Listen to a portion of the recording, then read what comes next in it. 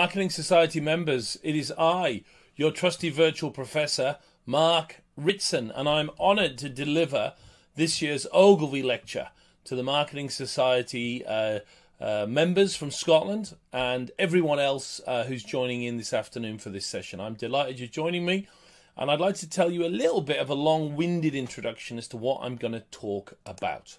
Okay? So let's go. Uh, I want to start with a pop quiz. I want to make sure you're paying attention. You ready? You should have by now read some version of the original or some précis of the long and the short of it by the great Binet and Field. Uh, sometimes referred to as Field and Binet, but clearly that's the wrong way around. It has a much better ring to it as Binet and Field. Anyway, they wrote the long and the short of it. And my question to you as we start this Ogilvy lecture is which of those words in the title is the most important? Is it long or is it short? Take a moment. Which of those two is the more important implication, uh, uh, application for marketing professionals like you and me? Ready? The correct answer is neither of them. The most important word in that book of Les and Pete's is the word and. Because it's quite unusual to have a marketing title, as we'll see as we go through this session, that includes that idea of multiplicity, both sides of the coin, inclusivity. Uh, as you'll see, um, it's really a rather lovely thing. And and is indeed the most important word in that book. And this thought came back to me about a month ago when I read a very, very good post by an advertising planner. I hope he doesn't mind me calling him that. Called Tom Roach. Tom's quite famous and, and very experienced and has been around the traps. And Tom wrote this really rather wonderful uh, LinkedIn post called The Wrong and the Short of It. And, you know, in all deference to Tom, there was nothing new in it, but it really was purely and beautifully written. Um, and I was very impressed with it. Um, and what Tom basically says, and I would encourage you to read it for yourself, is that obviously short termism um, is a bad thing because we know it leads to suboptimal outcomes, um, even though ROI points us in that direction. But he also pointed out that long termism is also a bad thing too, and you can go too much the other way. And he went further and said, look, Field and Binet, and particularly Binet, who Tom knows very well and works with, are not merchants of the long any more than they're merchants of the short. At the moment, there is a bias towards short termism, so the two godfathers of effectiveness tend to push the long boat further. But that's not because they're into long term stuff, it's that they like to do both and they feel there is an imbalance in the force. And what Tom keeps saying in this really rather lovely article, in a nutshell, is that we need to balance both approaches. Now, that sounds bloody obvious, but it's not obvious. It can't be obvious because most companies are skewed one way or the other, almost to the exclusion of the alternative. And everything Tom says really centers on a, on a again a rather splendid chart where he looks at the two different approaches. If you work for a company, and the chances are you probably do, that's overtly short term in focus, then you suffer from a rather restricted bit of tofu. Yeah? Your top of funnel has too little demand feeding the bottom of funnel where there's splendid performance marketing, wonderful conversion, amazing success. But because your top of funnel is weak, your bottom of funnel is only converting off a certain weaker base. And of course, the flip is true. If you work for a smaller but still equally stupid proportion of companies that are too long term in their approach, well, you've got an amazing bit of tofu up the top. Yeah, you focus on those awareness consideration stages, but when it comes to converting, your website shit, you don't spend enough money probably on digital marketing, and generally the performance of your conversion is shithouse. And the irony of all this is, of course, that if you go too short or too long, the ultimate financial outcome from different paths is equally disappointing. Either limited long term growth or limited short term sales Either way, to use the economic term, you're going to be fucked eventually. And of course, the point that Tom concludes with is what we want to do is balance out long and short. tofu, and bofu. Now, not necessarily, as we'll see later, 50 50 or even 60 40. That, that's a naive and simplistic approach. But the point is to acknowledge both sides and then to go further to blend them together in the appropriate mix to be a better marketer and work for a more successful brand. Now, what's interesting about this is it made me think. So let me give you my explanation for why most companies are still very short term, and then I'm going to flick to Tom's, okay? Because Tom's might be better. So, as you probably know, we've had the long and the short of it for a decade as a theory, but most companies aren't just ignoring it, they're continuing to be increasingly focused on short termism. Why is that? Here's my explanation from what I've seen firsthand. I mean, just pull this out of the air. This is what I've seen in organisations I've worked for and with. Now, you're familiar with the Binet and Field model, um, uh, Field and Binet. Uh, sales uplift over based on the y-axis, on the x-axis, the period of time that two, three years might be uh, might be appropriate. Now, as you know, there are two uh, different um, uh, lines of growth. There's a short term performance marketing line. We put our foot on the pedal and sales go up. The minute we take our foot off the pedal, the sales go whoop, back down to where they were before. Not a bad thing because the amount of money and effort on the pedal is more than offset by the return in sales ah, that we're getting. The alternative curve the blue curve of brand building, in in in uh, contrast, is a more incremental and slower, but ultimately um, equally rewarding trajectory. And uh, as we know, this isn't the story of long versus short, it's the story of them together producing the short term results to fill the long term impact, which feeds the short term results, and that lovely wheel begins to turn and a brand begins to grow. So, how come a theory so simple and so empirically now supported is still largely ignored by most organizations where we look at how and where they're spending their marketing dollars. And the answer, in my opinion, comes down to a simple observation. And the observation is this is great when you have some kind of eternal time principle on the x axis. But every company you, I, and everyone else we know has ever worked for lives here in this 12 month planning cycle box we think in 12 month financial cycles. We all do at the end of the day. Yeah. Now, when you glimpse those famous two lines within that cage of 12 months, look at what we see. Brand building looks, frankly, like a suboptimal approach. And performance marketing, sales activation, conversion, whatever we want to call it, is delivering uh, the money big time maybe with a, a, better ROI that's twice that of brand building, three times that of brand building. Only a mug would spend money on the blue stuff when I can get me the red stuff with a much better ROI. Now, as you know, if you're pretty good at marketing, ROI is only half a measure. It's good for the short, it sends you in exactly the wrong direction for the long, and that's why it's kind of a shitty metric. Don't tell everyone because some people are still in love with it. And the point is, what happens is Groundhog Day every year we go, well, mm, I'm going to get more money from from investing in short term performance marketing, so that's what I'll do this year. Next year you go, well, I'm going to get more from that, and that's what we'll do, and that's what we'll do, and that's what we'll do. So my explanation for why we've been dramatically shorter than we should have been in recent years is because of the uh, the budgetary pressures of a 12 month cycle. Now, Tom takes a completely different point of view. What Tom says in his wrong and short of it article is first of all, explaining what we've all known, long term growth always has its roots in the short term. The two are connected, influence each other, and if you get the two working perfectly in harmony, you'll achieve the strongest, most sustainable growth possible. Amen to that. So, why isn't it happening? According to Tom, but we so often miss out on maximizing growth in this way because of our binary belief systems the organization silos we inhabit, the different job titles we have, the different channels and formats we tend to use, and the different metrics we try to optimize. For Roach, the reason why short is favored over long is tribal. It's cultural. It's sociological.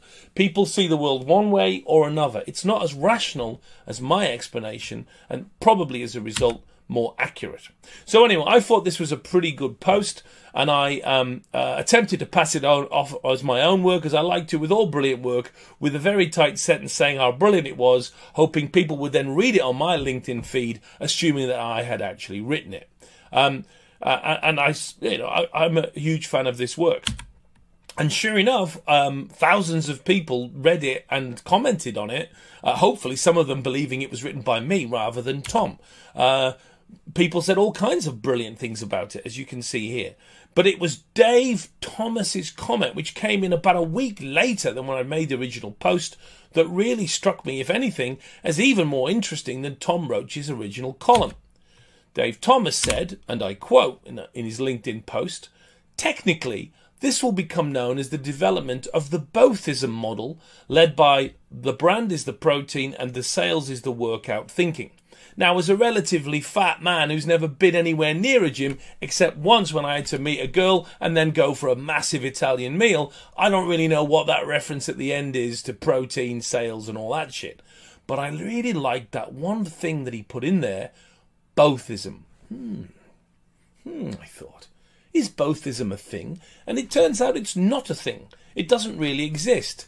David Thomas had invented it. So I thought, as you now know, well, I'll steal that without telling Dave Thomas and I'll start using it in my various different interactions, like, oh, know, that marketing society talk I've got to give in a month's time. So, behold, Dave Thomas and the rest of the marketing society, here is your David Ogilvy lecture, and it's titled, What Do You Know? Marketism, marketism, marketing bothism, marketing bothism. So, what do I mean by marketing bothism? Well, first we have to define bothism, which doesn't actually exist. So I'm going to make it up because I'm allowed to.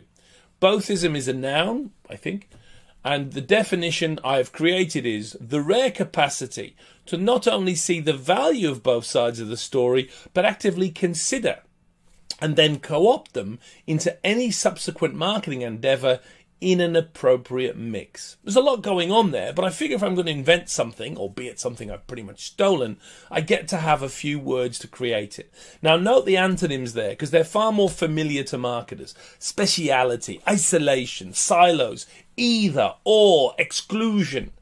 Bothism is the opposite of that, as you can see from the definition, and I want to explore it in this particular Ogilvy talk.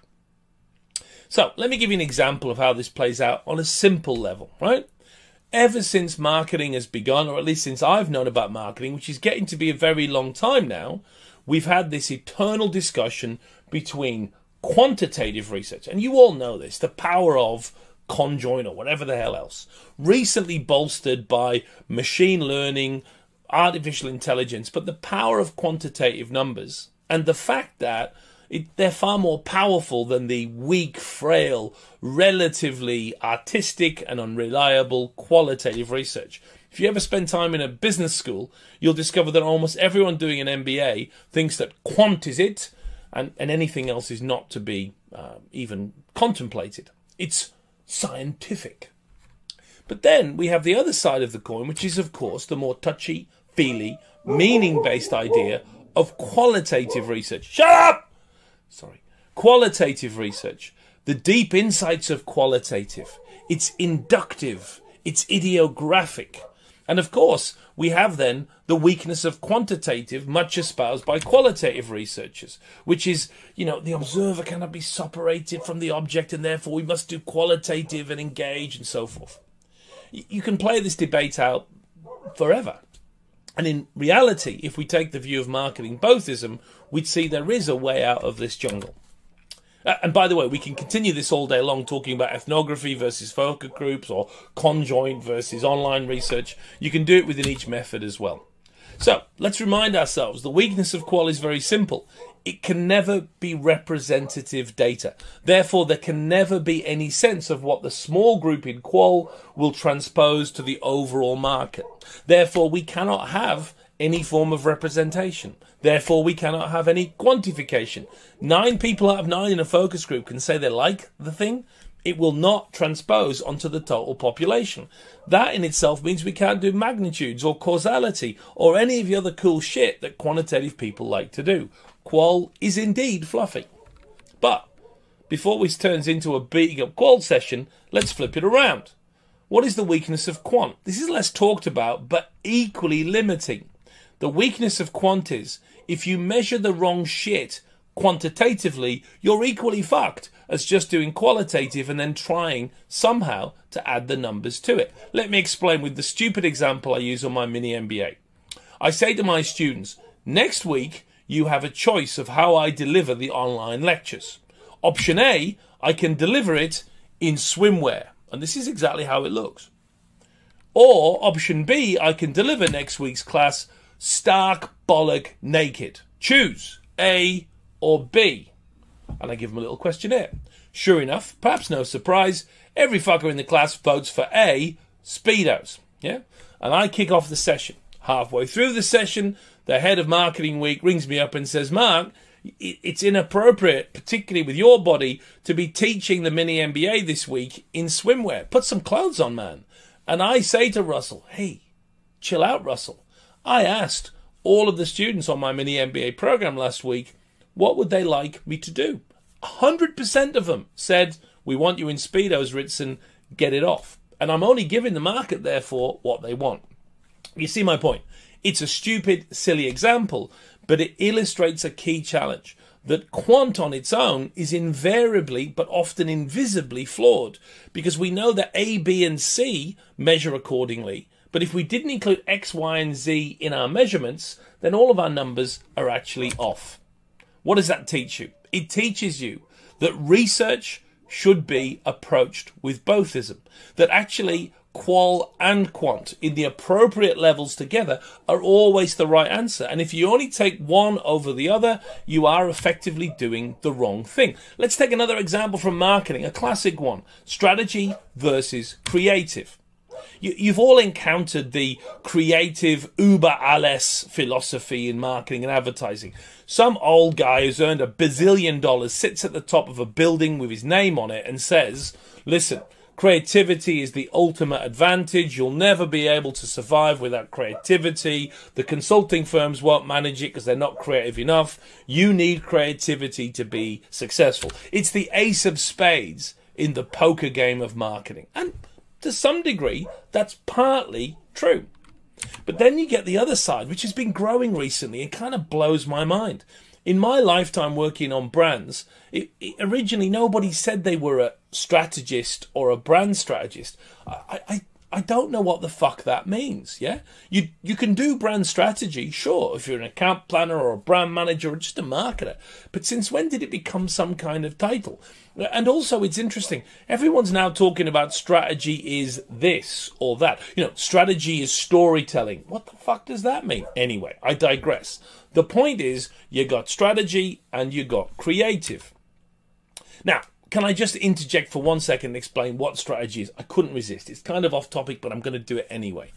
When we do strategy in marketing, at least, we just need to answer the key questions. All that ass about strategy is colours and uh, walking through the park and having beautiful, all that nonsense. It's really not that hard, right? Pretend you're a plumber, right, instead of a philosopher. So all marketing strategy or brand strategy is, is first of all working out who we're going to target, then working out what the positioning is then setting up some pretty decent objectives to drive our activity, and a little bit of brand architecture, I find, just to work and make sure we're applying the right brands to the right questions. But that's kind of what it is. All the rest of it is just kind of a lot of wank that surrounds the topic. Anyway, I digress. The point of this slide is to say there is a growing uh, tension between these two areas. I'll give you an example, and I apologize here. I'm quoting someone called Dong Draper. I'm pretty sure he's not called Dong Draper, but he might be, and my apologies if he is. Anyway, Dong Draper recently tweeted, "Why do strategists think that being a strategist is a personally is a personality trait? Laugh my ass off." Almost immediately, someone from the strategy community who found that offensive tweeted back, Michael Cates, "Why do creatives think they're the only ones who who get to have ideas?" Now, you see what's going on here. It's a classic, simple example of a uh, you know uh, an eye for eye, uh, half a coin each approach, and and it's ludicrous, right? It's ludicrous because literally strategy needs creative and creative needs strategy. And if you don't believe me, just study your basic marketing uh, history. The point of a creative brief is to be the bridge between the final strategic decisions and the creative execution that follows. They literally have to be part of the bothist philosophy because they're connected right in the bloody middle. So you see my point again. So, when I say bothism, and I'm really going to try and make this catch, right? I'm really having a go at this with you guys from the Marketing Society because I think we should try this. Anyway, when I say bothism, what I first mean is we need to hunt down and remove the tyranny of the or. Now, that isn't something that I invented. It actually was invented by Jim Collins, who wrote Built to Last. It's not a bad airport book, and Jim Collins turns out to be that rare thing, a guru who's actually pretty good. Yeah. Anyway, here's the Jim Collins quote that I read when I started to hunt down this idea of bothism, because he's definitely got it worked out on a broader corporate strategy level. Collins says, in his introduction to Built to Last, you'll notice throughout the rest of this book that we use the yin yang symbol from Chinese dualistic philosophy.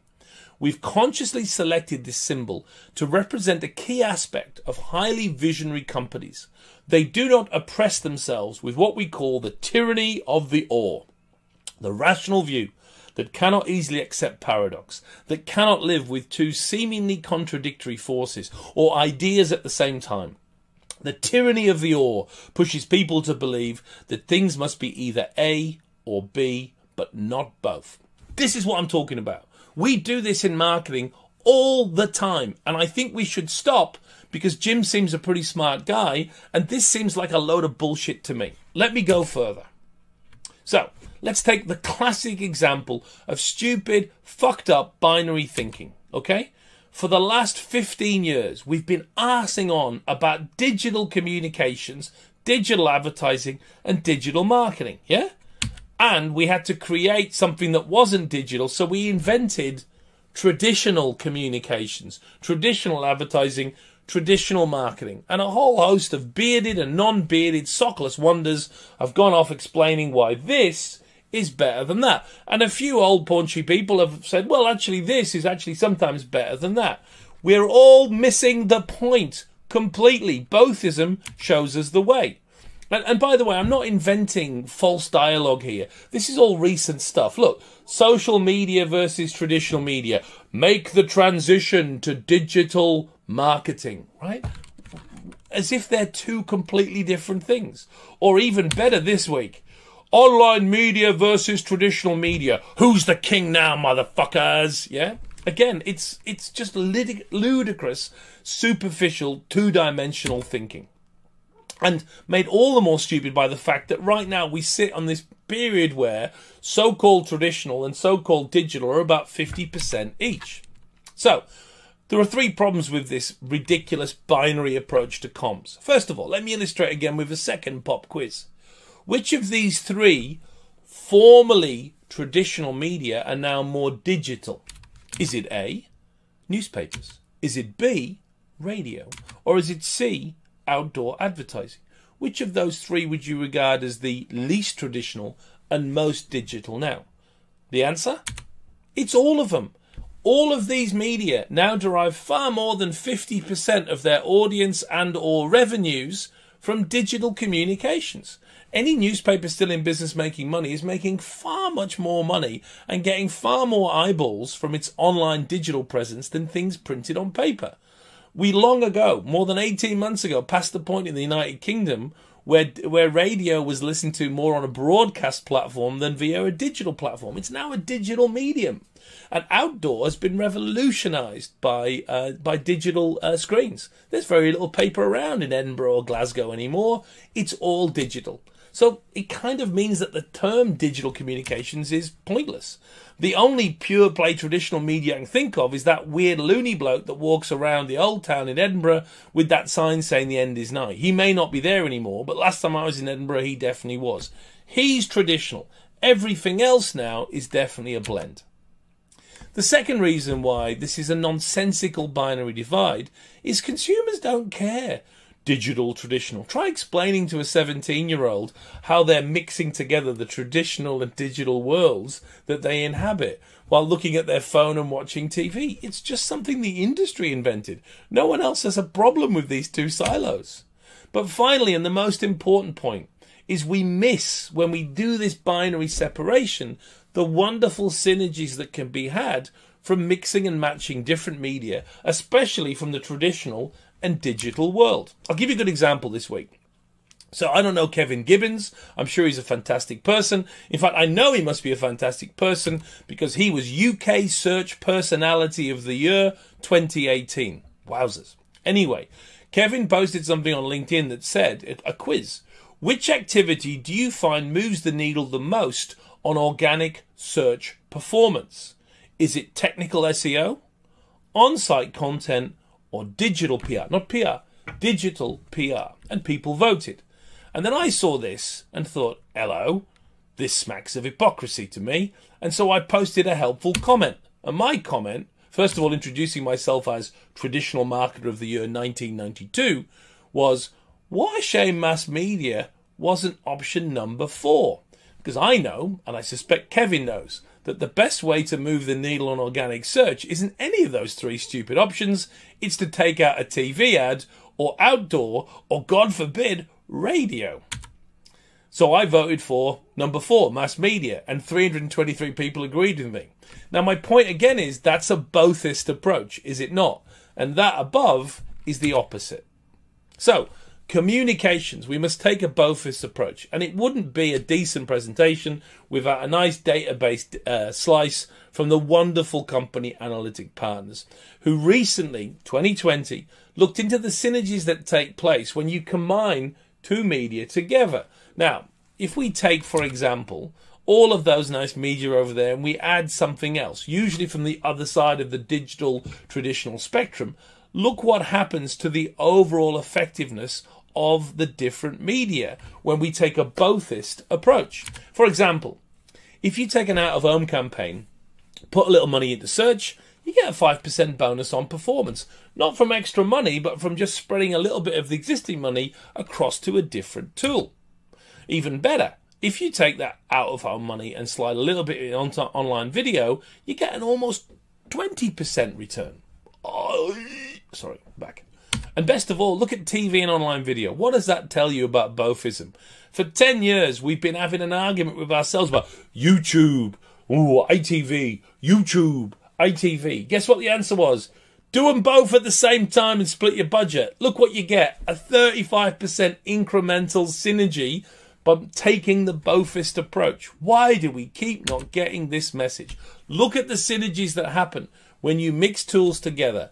Bothism works, diversity works, inclusivism works. Let's do it more. So, communications, another example of bothism uh, uh, benefiting marketing. Let's take positioning, right? You know the story here.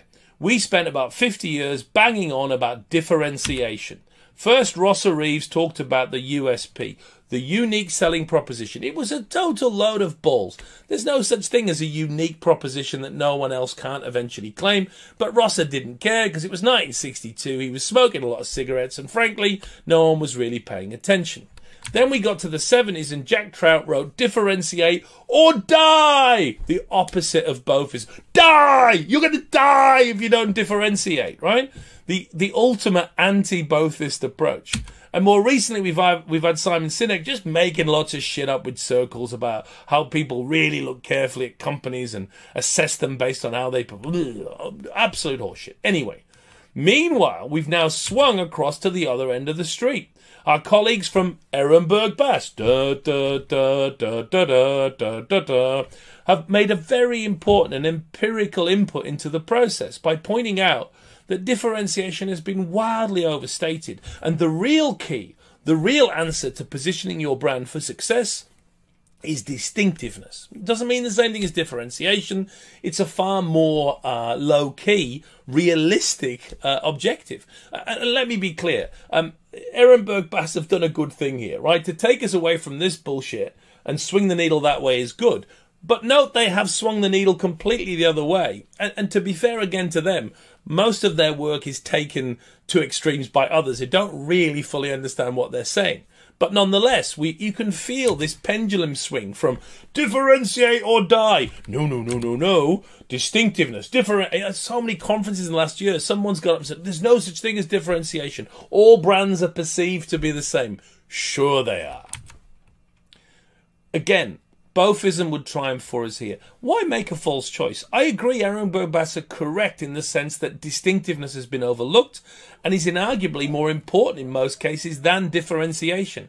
But it doesn't mean we can't have both. And if you work on a decent brand, and I know a few good brand managers and CMOs, what you've got is a very tight explanation of your DNA, your purpose, your values, whatever you want to call it. That's the intended differentiation, yeah? And then you've got, because you know what you're doing, a equally tight list of codes or distinctive assets or whatever you want to call them, which are the way in which you achieve distinctiveness. Here's the key point. You need to have both of these in place, but you need to have them on a single page. And if you don't, and trust me, I know a lot of billion dollar brands that do, you've gone too far. You don't need seven words over here or three words over here for different concepts. You need a handful of words that describe what you want to be differentiated on, and you won't own it, but you could relatively be it. And then, equally, if not more important, the set of distinctive assets or codes that you will mercilessly apply in order to stand out in the marketplace. But the point is, have both. It's a false choice.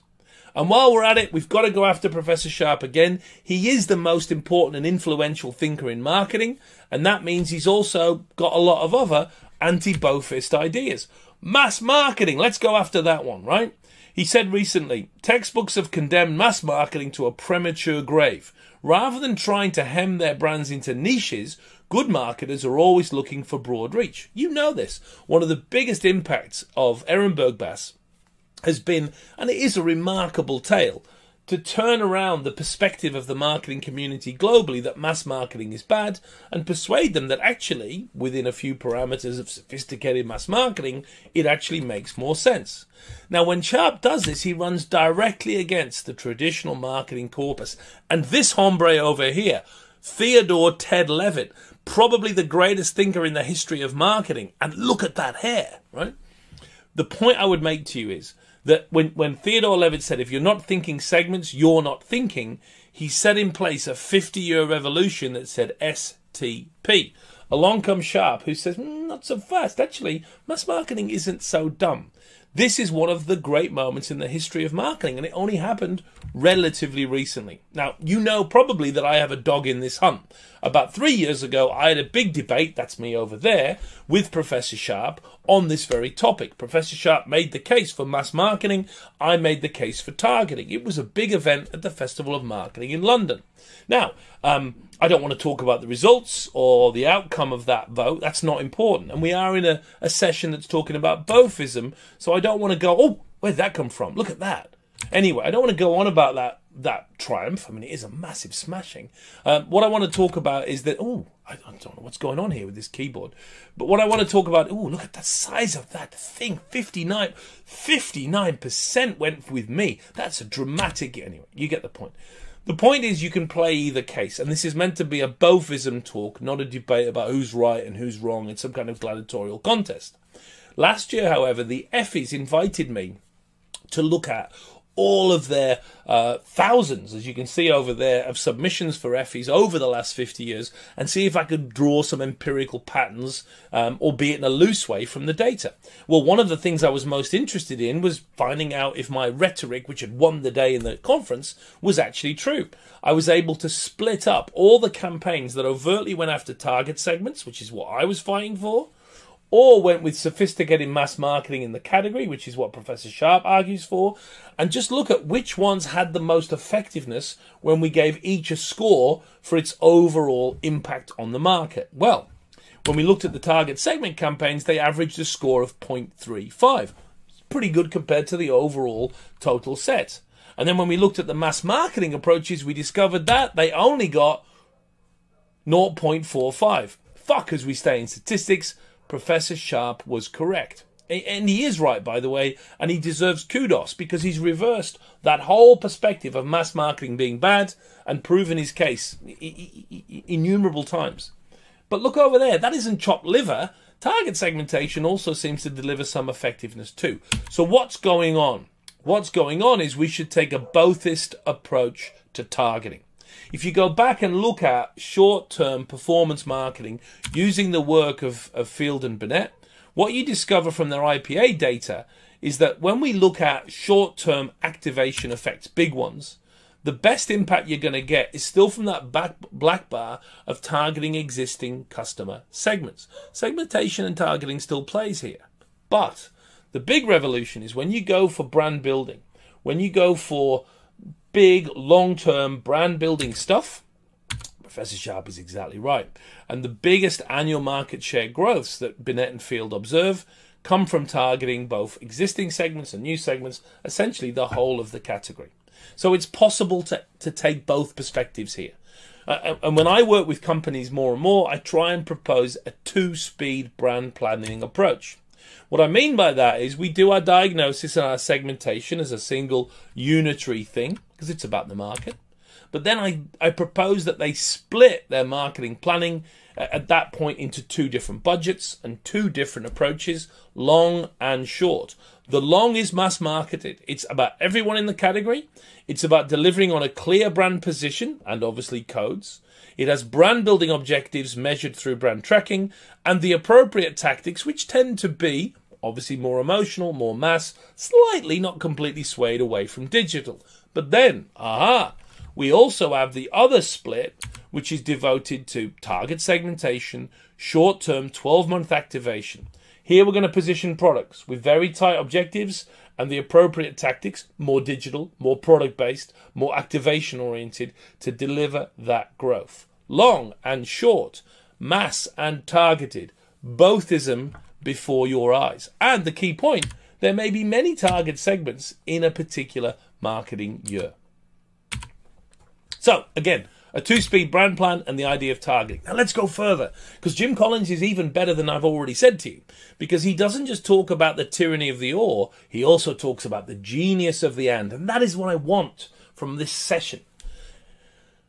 Collins says, instead of being oppressed by the tyranny of the or, highly visionary companies, why not marketers, liberate themselves and the genius with the genius of the and, the ability to embrace both extremes of a number of dimensions at the same time. Instead of choosing between A or B, they figure out a way to have both A and B.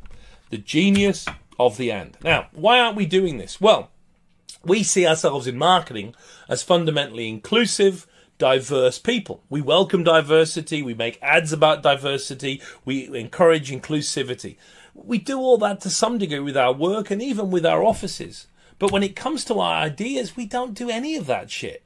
When it comes to our thinking and our models and our theory development, we are the Kim Jong il of, of theory development. There can only be one answer, and it's better than the other shit answer.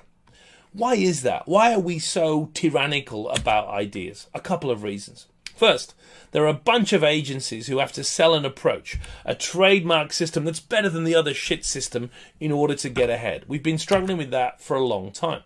Marketing science. Look, I'm not a huge fan of marketing science. It's done some good things, yeah? It's pushed evidence to the fore. That's a great thing. It's made us more rigorous over the last 10 years. That's a great thing. But science, at least the Popperian falsificationist view of science, talks about there being ultimately only one tentatively held answer until we can disprove it and replace it with another. This is not bothism, this is the opposite of bothism, and marketing science has contributed to that's wrong, this is right, put your test tubes out there, let's work out the answer.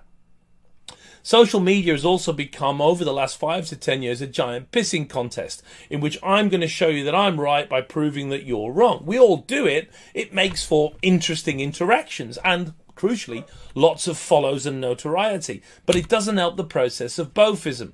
And then we have the pornography of change, something that most marketers are absolutely obsessed with. The pornography of change is built upon this idea that what's happening now and next is better than what happened before. You can't have a bit of the old and a bit of the new. The new has to be better than the old, which was stupid and outdated. Behold, new, hate the old. And again, it hurts us from a bothism point of view. And at the heart of all this is the great irony that marketing doesn't have one way, doesn't have one dominant approach, one successful path. It isn't physics. Marketing isn't gravity. The consumer is reflective. Culture moves and shimmers and changes. And because of all those different paths and options, we have many different sticks with which we can beat each other. And maybe a last point if you look at the lovely work of Reach Solutions over the last 12 months, they've demonstrated very clearly that actually, rather than diversity, most of the people who work in marketing in the UK, as opposed to the, the consumers they, uh, they target, come from AB backgrounds when they were growing up. It's quite a non diverse group of people. Probably no surprise, therefore, that they kind of all agglomerate together thinking this is the right answer versus that. There isn't enough diversity in our discipline. We talk about it, but we ain't got it. So, one last point, which will make the case for why I believe marketing bothism is so important. There's a wonderful little known concept called contronyms. Contronyms are a fascinating lexical construct.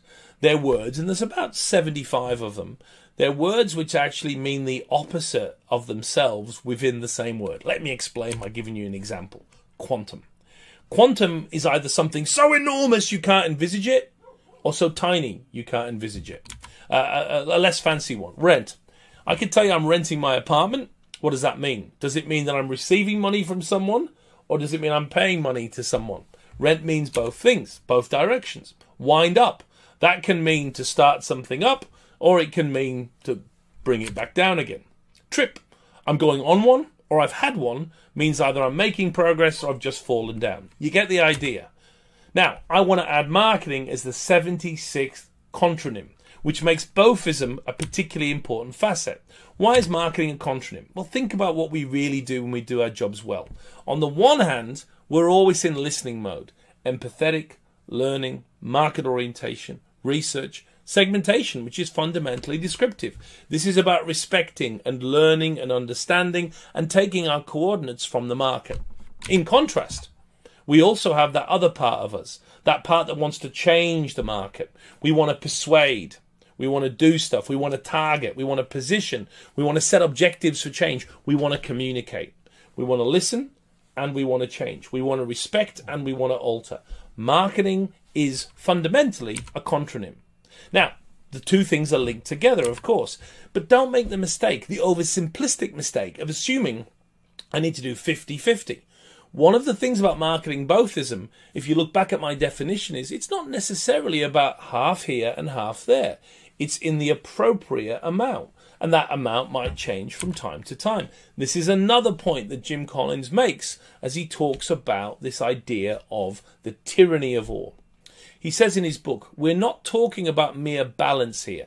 Balance implies going to the midpoint, 50 50, half and half.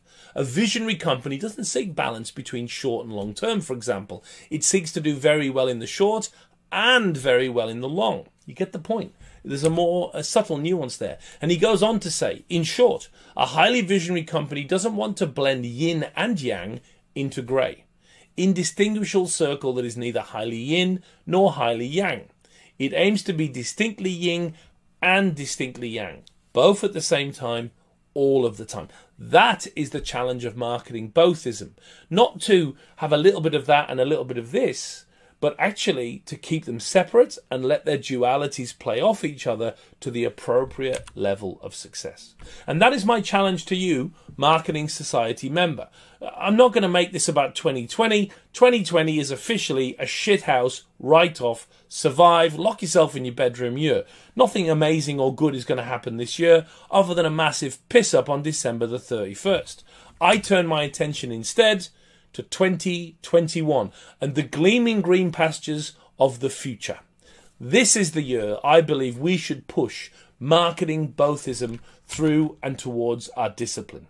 I believe this is the year where we should start to see marketing as a fundamentally bothist pursuit, where we don't tolerate any one approach, but we open ourselves to all the sides of the equation and blending them together, where we in, in, in, adapt ourselves to both forms of research, where we open ourselves to mass and targeting, where positioning becomes differentiation and distinctiveness, where short termism is matched with long termism in the appropriate balance, where communications is neither traditional or digital, it's just an optimum mix of different tools. This will be my challenge to you for 2021.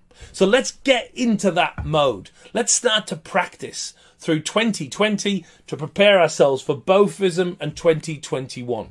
When you want to vote, think about Boris and Keir. When you want to get drunk, think about gin and tonic. When you think about singers, it's both Benny and Bjorn. When you think about bands, it, this is a hard one for me. It's also it's Blur and also Oasis. And when you think about bands, it's Duran and Duran. When you think about organs, it's both the cock and the pussy, the pussy and the cock. When you think about companies, it's Unilever and it's P&G. When you think about teams, it's both Celtic and Rangers. What? I've gone too far. I knew it. I'd gone too far with the football clubs. But you get my point. Both together, being themselves differently, but combining together for an amazing and astonishing combined effect. It's about heroes, David and Ogilvy.